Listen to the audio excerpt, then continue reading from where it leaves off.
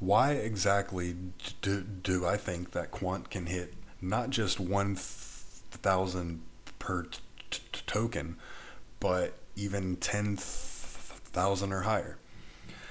I want to talk about uh, what Quant is, why it is very well positioned to be able to reach those kinds of price p- potentials, how it will or it can meet those, and then uh, toss out some examples of things that have performed very well in the past and how that could uh, begin to pave the way for Quant to expand upon that.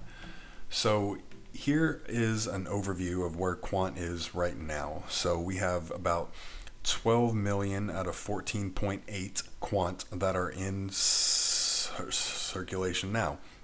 Uh, there are only about 21 million Bitcoin that will ever exist. So immediately we're talking about um, two thirds of that, which the tokenomics there are very attractive uh, as compared to things that have no cap like Casper and HBAR. The next thing is in Quant itself. So I found this graphic from Everything Crypto, who I actually pay um, a fair amount of attention to online. He t- talks about Quant a lot, and uh, he, he also talks about CRO as well, uh, which is Cronos, the token of the crypto.com thing. Uh, not too sure about that one, but I think that those kinds of platforms can uh, come back very well for their uh, price of their, their their assets and a potential bull, run in 2024 or around there. But the big thing about Quant that I'm into is that not only does it not have a lot of tokens, um, but it actually has a use case, unlike my least favorite crypto, which is Bitcoin, in all honesty. Um, just because it was first doesn't mean it was best. It doesn't really have a use case. It isn't exactly scalable. And uh, I just don't understand the whole proof of work thing from a long term efficiency concept. So the big things about quant are how it's used and who it can and will be used by and who it is being used by now. So, for you who don't know, uh, Quant is the native token of the Quant network, and uh, that all flows through the Over Ledger, which is uh, what Quant runs on. Um, the big thing about Quant is that it is designed to be interoperable with um, essentially anything eventually. Uh, right now, they have some partnerships and they work with people like Bitcoin, Ethereum, XRP, Polygon, Polkadot, XDC, and Avalanche. Um, I like XDC, XRP. I'm okay with Polygon. I like Avalanche. Uh, I don't know too much about it, but I do know that it still has a lot of potential. Not too interested in Ethereum and Bitcoin, in all honesty. But back to my point the Quant network makes it really easy for developers to tie different chains together to accomplish the things that each chain is uh, the, the most efficient at. And these are called multi-chain chain applications or mApps. So essentially, you need Quant to run things on the Quant network, and you have to use Quant in order to perform uh, the f- functions within applications. I like that it talks about the uh, the investment and the value as well. Uh, the only thing that Bitcoin does is it holds value relatively well in the crypto space for no reason other than it is a proof of work protocol and it's the original. Um, I can get more into the why everyone is still into it, but everyone's basically just protecting their own investment at this point. So that comes back to the t- tokenomics. There's only 14.8 million that will ever exist at this point.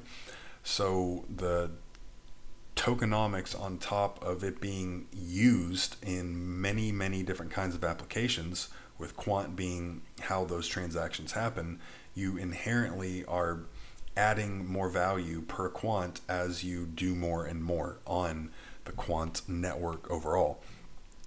The developer licenses are interesting as well because it is saying that quant licenses are locked for 12 months uh, and they are uh, equivalent to a certain amount of cash essentially.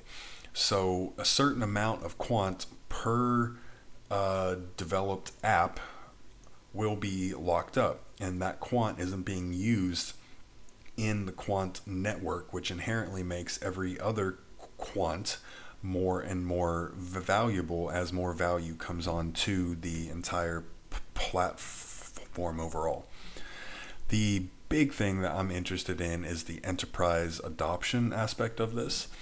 Um, they are again requiring annual licenses in terms of quant and the more valuable the more expensive these kinds of projects are the more quant is locked up the less is actually moving around and the value of quant that is actually available then goes up more and more as you create more value on the platform. So as an example they are confirmed to be working with both the Bank of England and the Bank of International S- S- Settlements for some CBDC related things. Um, as you have probably heard me say now, I'm not a fan of those overall, but I do think they're inevitable to a certain extent, which is why I'm interested in the projects that are the most well positioned to actually take advantage of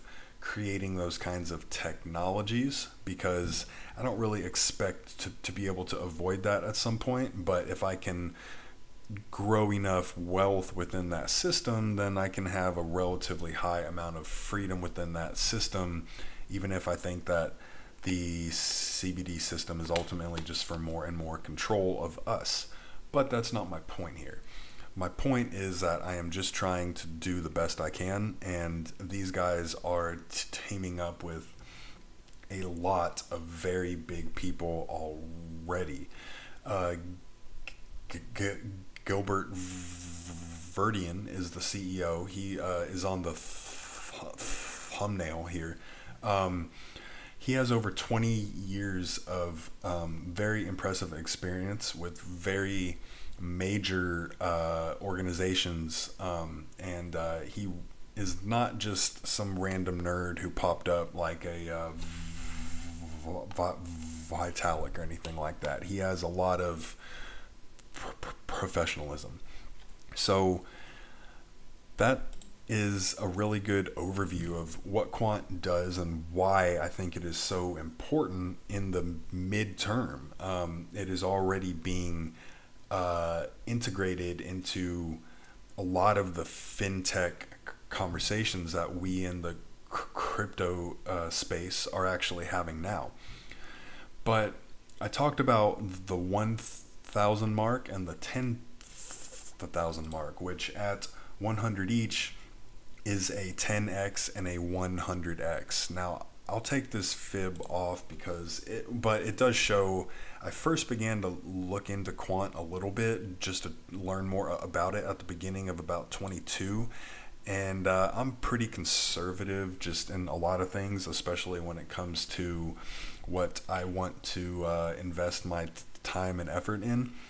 And I, I like to see how things perform before I just toss things at them. So, I could have gotten in um, at as low as about 40 bucks per quant, which I should have because I was more aware of it then. But I've bought in at every point just around 100 bucks. um, it does respect this 100 point very well. It, it's very hard to get quant under that. Um, another thing is that it seems to be relatively insensitive to the D- DXY and the Dow Jones as well. Uh, it does have a little correlation, maybe, but overall not that much, which is interesting because that's telling me that it is finding its value on its own. It is not just tied into the economy overall as much, and it is actually creating value and attracting value on its own. So right now it's at about 100 a pop. I think that that's a pretty safe spot to get in if we do have a really hard time in the economy or a crash or anything like that. You, we can probably see something like this uh, 40 rate.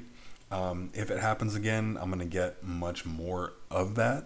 But I'm okay with just kind of uh, putting in 100 he- here and there. Um, of course, this isn't financial advice. I just talk about what I do and what I'm interested in. I don't know why any of us even have to say that anymore, but we unfortunately do. But the most interesting thing that I've been t- t- toying with is when we're comparing quant to the market caps of other tokens, we can kind of do some price projection without chart um, without chart related complications and just a lot of imagination, in my opinion. So, even if we look at something somewhat comparable, maybe, which is Cardano, that's a, a very heavy smart contract oriented platform. So, Quant is much more than that. So, I even have a hard time figuring out what to compare it to, but I will show a different one here in a minute, which is much more aggressive of a number, but it's much more interesting as well. So even if Quant had the market cap of ADA right now, it would still be a 6x, which would be uh, just over 620 bucks. Now, if we look at the previous all-time high of ADA, we're looking at 6500 bucks which is over a 65x so that's not even a that that's really not even that much of a uh, reach or a uh, optimistic look. That is just in the next bull run quant is already very well positioned to be able to to attract a lot of uh, investment. And honestly a 65x for something with only 14 million overall t- t- tokens and the, the, more people build on the quant network the more quant is actually held up. So every other quant gets more and more v- valuable. I don't really think it's that far-fetched. But if we look at something like which might be on the more longer term uh, price potential and use case once we get more regulatory clarity and institutional investment why don't we look at ethereum? Even right now it would be a 136x to be over 10,000 per quant. And i choose ethereum to compare to because even though i don't really like eth um, for for some of the uh, infrastructure inefficiencies, even with its new proof. Well, it's not proof of work anymore, right? So that does help me, but it's still expensive in terms of gas. The ETH network, it's a huge improvement over Bitcoin, obviously, but it still has its own problems. And it's not as easy to connect things as well.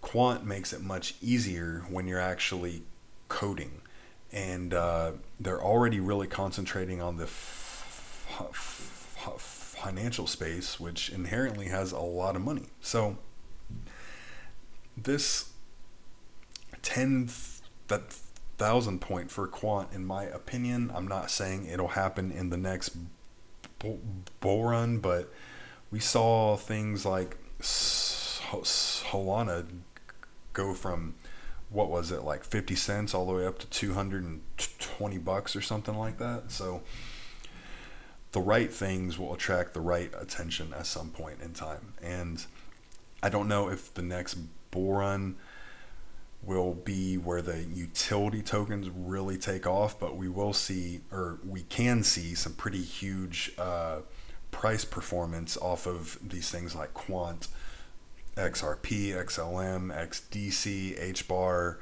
Casper, even. So I'm interested in, in th- those because it actually has a purpose. And once we get regulatory c- clarity, that will unlock institutional investment, which will really be where all of these utility tokens, especially in my opinion, in the financial technology space, to really take off. So that, that I think that's it at the moment. I, uh, I do have some more information on quant that I want to uh, work through a little bit more and explain more as well. So if you're interested in quant, uh, I would expect some more content after this.